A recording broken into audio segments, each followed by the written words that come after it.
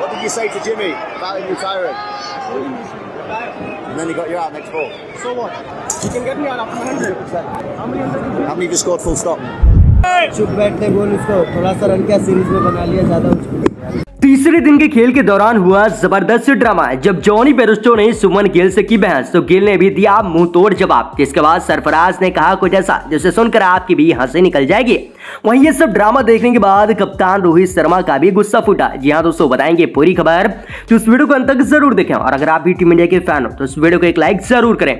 दोस्तों, आज भारत और इंग्लैंड के बीच खेले जा रहे पाँचवें टेस्ट मैच का तीसरा दिन खेला जा रहा है। और टीम इंडिया आज बेहद ही मज़बूत स्थिति में है। पहली इनिंग्स में टीम इंडिया 477 रन बनाकर ऑल आउट हुई और दो रनों का विशाल लीड हासिल किया। इसके बाद बल्लेबाजी करने उतरी इंग्लैंड की टीम ने 103 रनों के स्कोर पर ही अपने पाँच विकेट गंवा दिए। इस तरह टीम इंडिया ने लगभग इस मैच को जीत ही लिया है। वहीं दोस्तों, आज की इस खेल में हमें एक बहुत बड़ा ड्रामा भी देखने को मिला, जिसे देखकर सभी हैरान रह गए। दरअसल ये ड्रामा तब शुरू हुआ जब इंग्लैंड के बल्लेबाज जॉनी बैरस्टो बल्लेबाजी करने आए।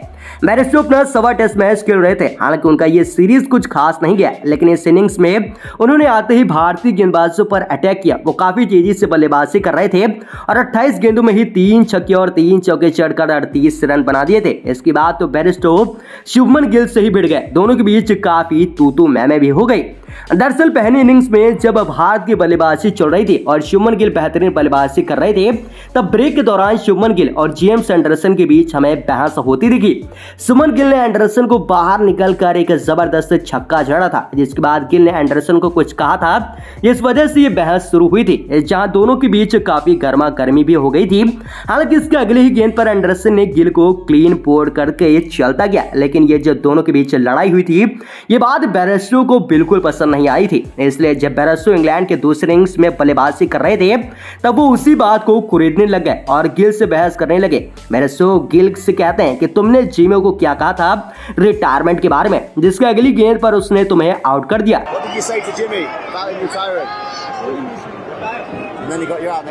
जिस पर गिल जवाब देते हैं कि उसमें क्या है मैं सौ रन मार चुका था और उसके बाद उसने मुझे आउट किया। So what? You can get me out after 100. Gill आगे बैरिस्टो से ही पूछते हैं कि तुमने इस सीरीज़ में कितने हंड्रेड मारे हैं? इस तरह गिल ने बैरिस्टो को मुँह तोड़ जवाब दिया। दोनों के बीच जबान से ज़बरदस्त लड़ाई हो रही थी, जिसके बाद सरफराज खान भी बीच में आ जाते हैं और उन्होंने कहा कि चुप बैठने को बोलो इसको।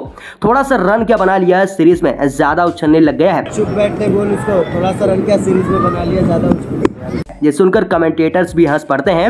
इनकी ये सारी बातें और लड़ाई स्टंप माइक पर रिकॉर्ड हो जाती है।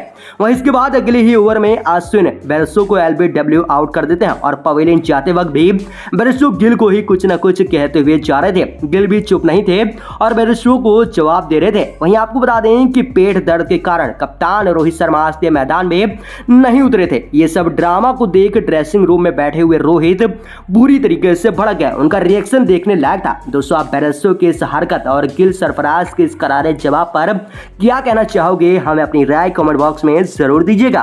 वहीं दोस्तों, यशस्वी जायसवाल को भले ही सीरीज़ में एक भी मैन ऑफ़ द मैच का अवार्ड नहीं मिला, लेकिन उन्हें मैन ऑफ़ द सीरीज़ चुना गया। वहीं इस अवार्ड को पाने के बाद यशस्वी जायसवाल काफ़ी ज़्यादा भावुक हो गए।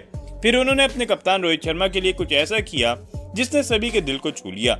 वहीं फिर इंग्लैंड टीम पर भी चौंकाने वाला बयान दिया। अवार्ड पाने के बाद इंटरव्यू में जायसवाल ने कहा ये सीरीज़ मेरे लिए हमेशा यादगार रहेगी। मैं पिछले कुछ सालों से काफ़ी अच्छी बल्लेबाजी कर रहा था, लेकिन मुझे टेस्ट में अपने आप को प्रूव करना था, क्योंकि टेस्ट एक ऐसा फॉर्मेट है जहाँ खिलाड़ी का असली कैरेक्टर पता चलता है, और मैं खुश हूँ कि मैंने खुद को प्रूव करके दिखाया। हालाँकि मुझे लगा नहीं था कि मैं दोहरा शतक जड़ दूँगा, लेकिन मैं खुश हूँ कि मैंने अपनी टीम को सीरीज़ जीतने में मदद की, जायसवाल ने आगे कहा। इस सीरीज़ में हमारी पूरी टीम ने शानदार प्रदर्शन किया हर एक खिलाड़ी ने प्रदर्शन करके दिखाया है, चाहे वो बल्लेबाजी हो या गेंदबाजी। शुभमन गिल, ध्रुव जुरेल और सरफराज खान ने भी काफ़ी अच्छा प्रदर्शन करके दिखाया। वहीं हमारे गेंदबाजों ने भी कमाल की गेंदबाजी की। खास करके हमारे स्पिनर्स ने। जायसवाल ने आगे कहा, हमारी टीम युवा थी, लेकिन हमने इंग्लैंड को दिखा दिया कि युवा टीम के साथ सीरीज़ कैसे जीती जाती है और इसका पूरे श्रेय हमारे कप्तान रोहित भाई को जाता है।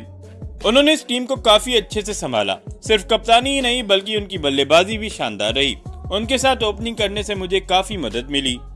उन्होंने मुझे बल्लेबाजी के दौरान काफ़ी मदद की। इसलिए मैं मेरा ये अवार्ड रोहित भाई के साथ शेयर करना चाहूँगा, क्योंकि मुझसे ज़्यादा वो इस अवार्ड को डिजर्व करते हैं। दोस्तों, जायसवाल ने रोहित के लिए ऐसा कर सभी का दिल जीत लिया। लेकिन आपके हिसाब से इस सीरीज़ का मैन ऑफ़ द सीरीज़ किसे रहना चाहिए था? अपनी राय कमेंट ज़रूर करें। वहीं दोस्तों, टीम इंडिया की एक तरफा जीत पर दुनिया भर के दिग्गजों का बयान सामने आया है। सबसे पहले इंग्लैंड के दिग्गज माइकल फॉन ने कहा, धर्मशाला का कंडीशन इंग्लैंड के कंडीशन जैसा ही था। इसके बावजूद टीम इंडिया ने इंग्लैंड से अच्छा प्रदर्शन करके दिखाया। यह दिखाता है कि टीम ने इंग्लैंड से काफ़ी मज़बूत टीम है। टीम इंडिया में ज़्यादातर खिलाड़ी तो युवा है और इन युवा खिलाड़ियों ने इंग्लैंड को दिखा दिया कि इस कंडीशन में कैसे खेला जाता है। वहीं दोस्तों, सुनील गवास्कर ने कहा, टीम इंडिया ने इस युवा टीम के साथ सीरीज़ को चार एक से जीत लिया है। ये बहुत ही बड़ी बात है, क्योंकि टीम में कोहली, राहुल जैसे दिग्गज खिलाड़ी नहीं थे।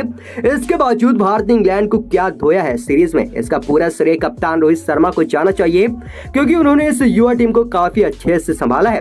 इसके बाद ऑस्ट्रेलिया की रिकी पॉन्टिंग ने कहा क्या प्रदर्शन किया है टीम इंडिया ने इस सीरीज़ में?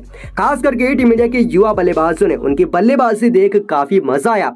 खास करके शुभमन गिल और यशस्वी जायसवाल ने, जिस तरह से जेम्स एंडरसन जैसे दिग्गज गेंदबाजों को धोया, उसे देख काफ़ी मज़ा आया। वहीं अश्विन की गेंदबाजी में तो हमेशा क्लास ही रहता है, और इस मैच में भी हमें ये फिर से देखने को मिला।